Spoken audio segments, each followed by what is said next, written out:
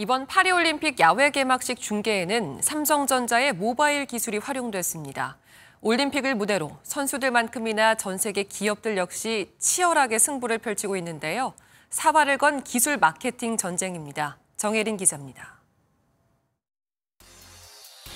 프랑스 파리 생강을 가로지르는 보트에 저마다 스마트폰이 매달려 있습니다. 파리 올림픽 개막식에서는 선수들이 배를 타고 입장했는데 이 독특한 장면을 전 세계에 중계하는데 삼성전자가 지원 사격했습니다. 85대 보트에 설치된 200대가 넘는 스마트폰이 선수들의 모습을 실시간으로 전달했습니다. I think it's very interesting the Samsung mobile phones complementing the traditional broadcast coverage.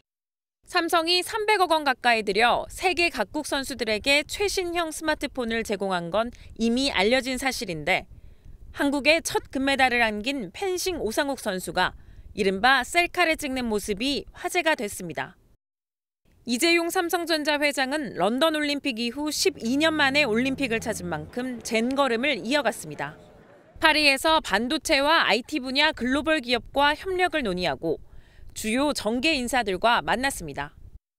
정의선 현대차 회장은 이번에도 대한양궁협회 회장 자격으로 파리를 누비고 있습니다. 현대차는 양궁 선수들을 위해 AI, 증강현실 기술을 훈련에 지원하기도 했습니다. 올림픽 마케팅이 가장 큰 이벤트 마케팅 중에 하나라고 프리미엄 이미지로 글로벌 브랜드 다시 한번 상기시킬 수 있는 그런 계기가 프랑스 파리로 모여든 글로벌 기업들이 선수들만큼이나 치열한 기술 마케팅 승부를 벌이고 있습니다.